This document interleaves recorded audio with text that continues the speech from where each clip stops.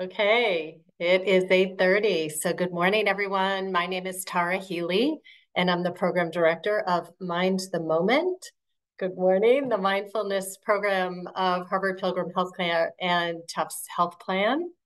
And this is our Thursday morning gathering, and uh, I am opening up the chat. So if you want to open up the chat and go to the drop down menu and select everyone so that we can uh, communicate with each other. And um, I want to just extend a warm welcome to anybody that is here for the first time. Uh, that these sessions are fully guided. They are anywhere from, say, 12 to 14 minutes in length. There will be periods of silence throughout. So I'll sort of settle us in.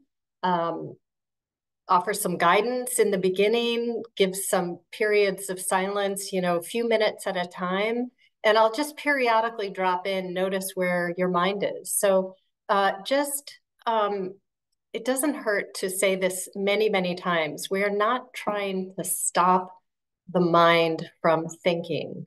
We're just simply seeing that when a thought has slipped in unnoticed and becomes noticed, that we're no longer going to continue to follow that narrative. So whatever, you know, memory or planning or worry or concern, whatever has slipped in, the minute we see it when we're formally practicing, it's not a problem. It's you're doing it correctly. It's all part of the practice. We're just saying, ah, typically uh, one of the ways to work with it is just to make a soft mental note thinking because in a way in doing that it's like the culprit has been seen and it weakens it a bit uh, allow your body to soften. When thoughts slip in, there's almost always a very subtle contraction in the body.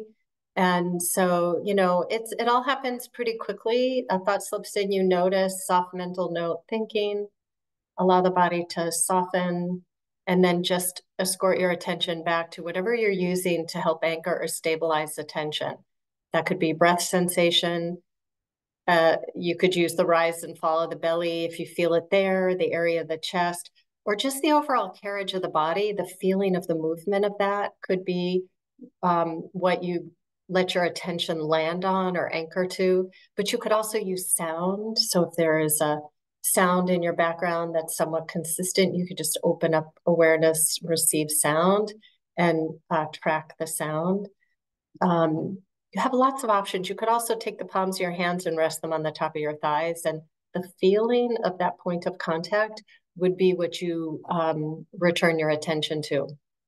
We just do this over, over and over again as a way to provide some stability and some ease.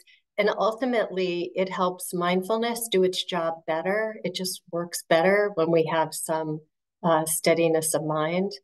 Um, but the other benefit of thoughts kind of coming in is we can see with greater clarity um, what we lean into and what we push away and what our habit patterns of mind are. Um, so it's a it's actually a deep practice of self-understanding among among other things. Uh, but we see more clearly our own mental habits and patterns. Um, but before we start, I want to also say happy summer solstice, first day and longest day uh, of the summer. And um, as I've mentioned in the past, we typically have started with a question as a way to check in, but I um, I'm switching that up a little bit. Not to say we won't do that um, going forward, but um, I have been thinking about just poems or quotes or you know things that inspire me as a way to get started. We'll save about 10 minutes at the end for just Q&A, sharing of resources. So any um, books or apps or podcasts that you've come across that you like.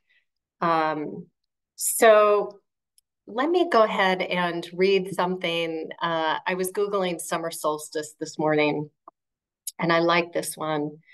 Um, and we can actually begin the practice now. So uh, let your attention really land on these words. So, through the ages, the summer solstice has symbolized growth, renewal, and fertility. There is an abundance of energy to be tapped into at this time of year. It's the very best time to harness the magic of the universe. Set your intentions. And um, And then a, a friend shared with me another quote by a meditation teacher who I really like. And he says, once you've set a direction for the mind, it will continue in that direction. And that this is a natural quality of mind. If you leave the mind undirected, it can lead to chaos. And so the idea uh, this morning, in alignment with summer solstice, in alignment with the idea of setting intentions, um, is that, uh, you know, we're going to, if you just take a moment to think about um, what your intention is in doing this practice, it actually each time will help sort of ground you in why you do this. So, um, you know, taking just a moment to kind of think through what's your intention, even just for this practice. You could even you could even narrow it uh, that much. And let's go ahead and settle in to a posture that feels like it's going to serve us best this morning. That could be standing, it could be seated, uh, could be lying down, you know, whatever posture feels like it's going to work best for you this morning. Um, your eyes can be open or closed. It really doesn't matter. If they're open, um, gaze downward a little bit just to help remove peripheral distraction. And take two deep breaths, making your exhalation longer than your inhalation.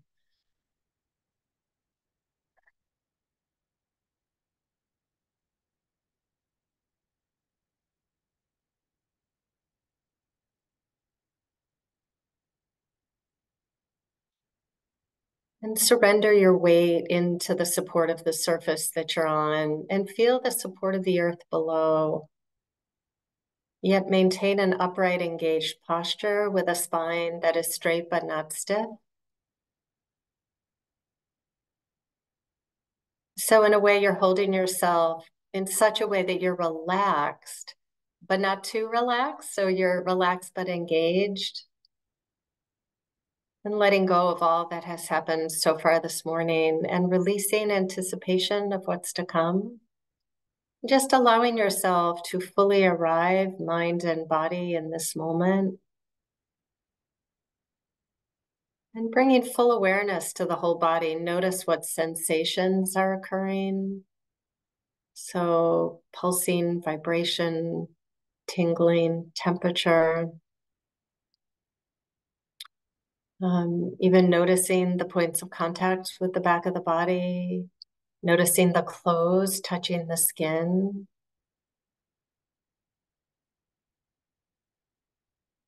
So, whole body awareness. And really nothing to do, but just aware of the sensations, of the feelings uh, that are happening for you now. Just receiving sensation.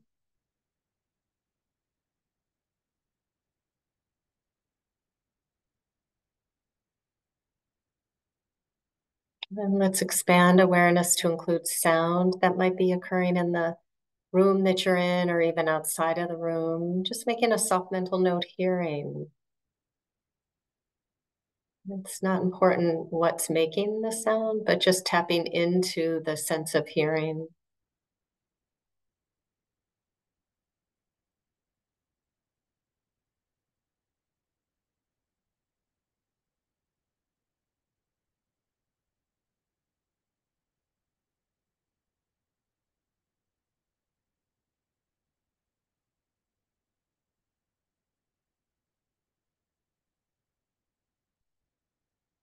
And allowing sound to arise and pass as it will in your background.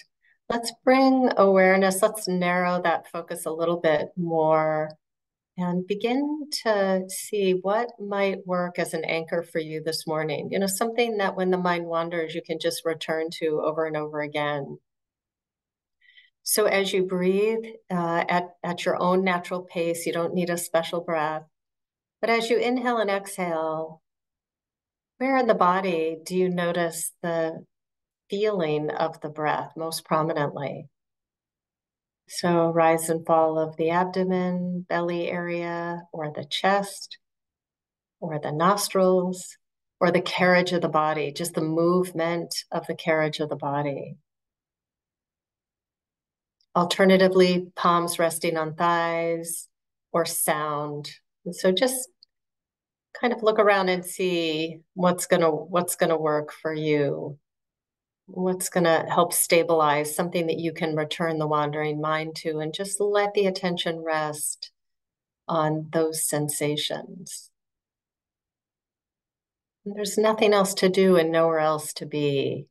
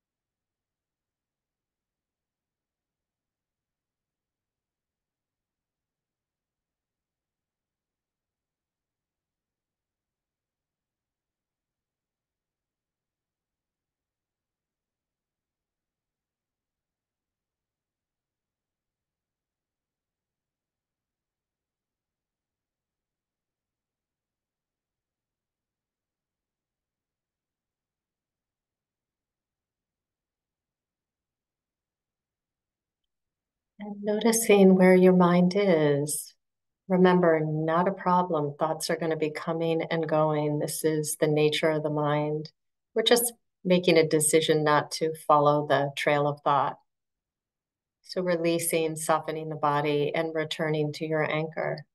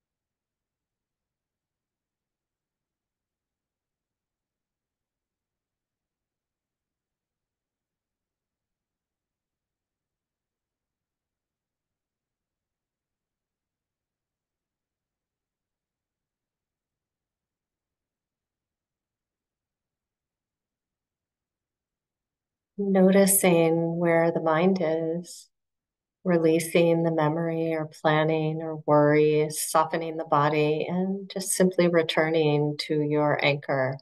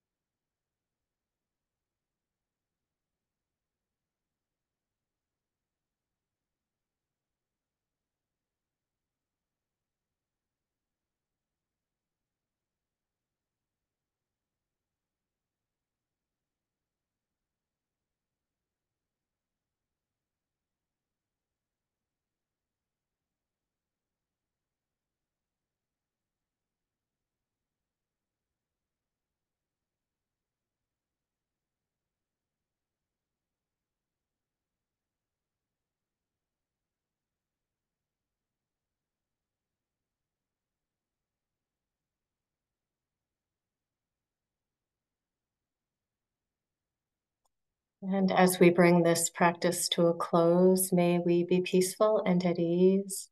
May our hearts be soft and open. May we be safe and protected, and our bodies healthy and strong. And may whatever good comes of our practice be for the benefit of all beings everywhere. And so, taking a moment to, if your eyes were open or closed, um, just reorient to the room you're in, maybe do a little bit of a stretch. Um, and so uh, just a couple things. Um, Dr. Richard Davidson has a quote that whatever we incline the mind toward, we train. And I love that. It's also kind of connected in with our theme of, um, especially with uh, the meditation teacher where he says, um, if we leave the mind undirected, I'm paraphrasing, but if we leave the mind undirected, it'll go, it'll fall into its natural habit pattern. And um, I think I always have felt like one of the one of the greatest benefits of this practice is we get to see our mental habit patterns with greater clarity. We might not always like them or feel good about them, but the idea is we get to see them with greater clarity so that we can really work with them and and keeping the ones that are working for us, you know, calling those forth with uh, greater frequency. I mean, and ultimately helps us just really align with our own value system. So how we speak and drive and how we listen and, you know, all of these different um, mental habit patterns. Um, one of the huge, the huge benefit is, is, we get to see it with greater clarity. And I would also just add that um, it, it's worth it bears repeating that we're not trying to create a special state when we're practicing meditation. Um, so often historically, you know, you see somebody in a seated meditation posture and you think calm, you know, they're bringing about calm, but but that's not the goal of mindfulness meditation. There are actually saying the word meditation is like saying the word sports. There are lots of different reasons and different types. But in mindfulness meditation, we're not trying to create a special state. We're trying to see if we can be in the state we're in familiarize ourselves with that state. And it's easier with the with uh, pleasant states of mind. It's much harder with uh, with the unpleasant, such as a- anxiety or jealousy or fear. You know, any of those um, mental states are harder to be with. But the idea is that we're bringing some awareness to those states and uh, really feeling how they show up in the body. So coming out of the narratives about them, but seeing if we can familiarize ourselves with the feeling in the body. And that ultimately we're learning that all of these things have a life, they do their thing, and they move. So they have an impermanent nature. That's a huge nugget in this practice is really understanding the nature of impermanence. Um, so but I want to also just kind of open it up now. Um, we've got a few minutes to do that. So if anybody, you know, it's an opportunity to share resources that you've come across that you love. Um, it could be a poem or a book or a podcast or, um, you know, an app that you use. And the other purpose of saving time at the end is just to say, how was that practice for you this morning? What did you notice about the nature of your mind? Um, and by the way, it's not just the nature of your mind, you're understanding the nature of everybody's mind. The content and the stories are different, but this is what minds do. And so I um, I always felt like that helped to just kind of amplify my own sense of compassion for humanity that um, this is what our minds do, and we're we're learning um, more about that, not just our own um, minds, but it's what everybody's does. It's just our stories are different. Um, yeah, so if anybody wants to make a comment on how practice felt this morning or um, any uh, resources that you'd like to share or questions. So if anybody has a question, you know, it's like fine to pose that question.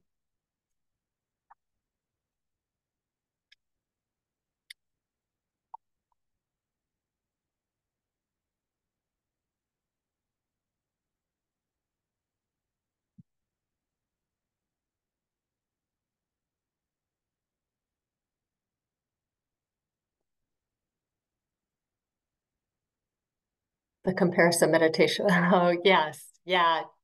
It's funny because I think um, Jennifer and others that, you know, it's like the word meditation over historically has seemed to, to mean like one thing. But there are literally hundreds of different kinds and different reasons one might practice one over the other. And there are meditations that are just aimed at relaxation. This is not that, although having ease, more ease in one's life is a byproduct. But but this is really a practice of more deeply understanding ourselves, our habits, our patterns, um, and working with them in this particular way. Uh, logged in because I'm overwhelmed by several things happening. It was helpful to focus on the sounds in and near my house. Nice, Sharon. Yeah. Um, that is a really helpful practice is to, you know, open up awareness, just open up. And as you are out and about, uh, taking in um, nature, which is incredibly restorative. Um, and as simple as feeling the wind, you know, tapping into the sense experience, which is what, um, again, a core part of this practice is really tapping into our sense experience. Um, start each morning with a daily intention.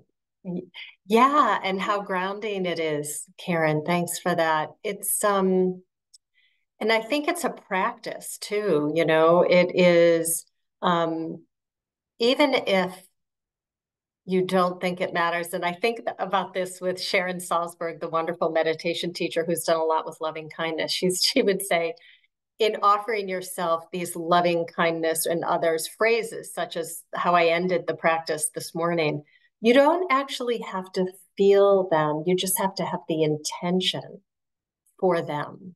And I love that. Um, and so just setting a daily intention um, is super helpful. Uh, and and there's also really, I think, which are interesting practices each day that could be tied in with intent.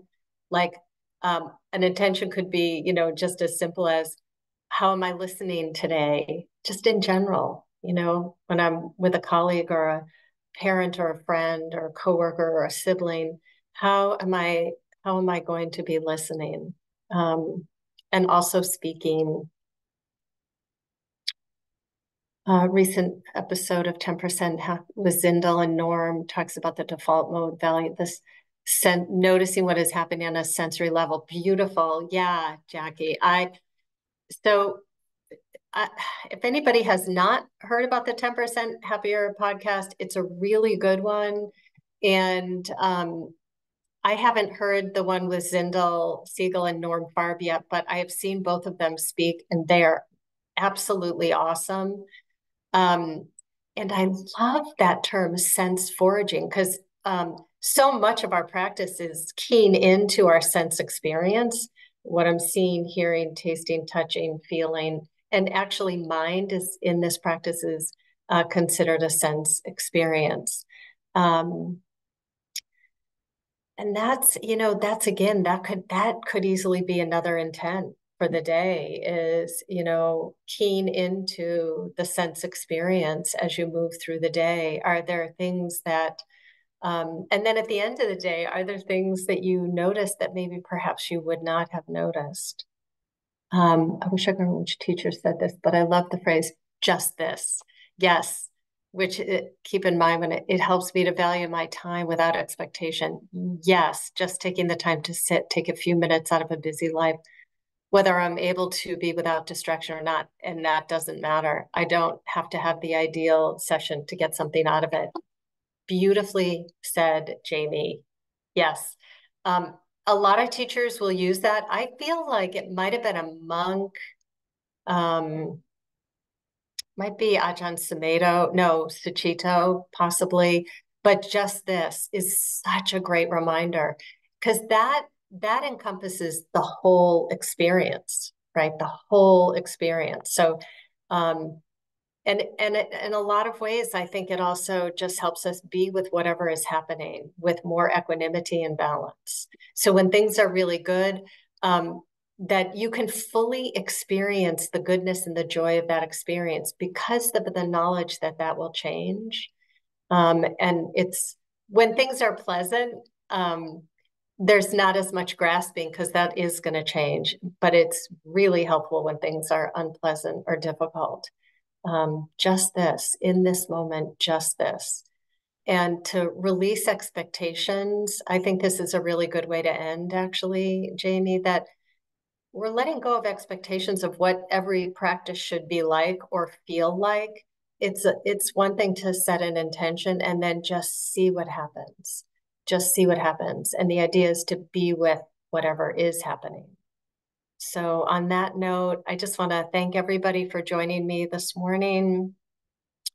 Have a wonderful solstice. And as we are at the end of the week and moving into the weekend, I wish you luck with practice and remember informal practice, just, you know, as we move through the world, um, bringing attention, bringing awareness to whatever is it is that um, we're doing. So, uh, and then we'll see you back here on Tuesday. Okay, everybody, take care.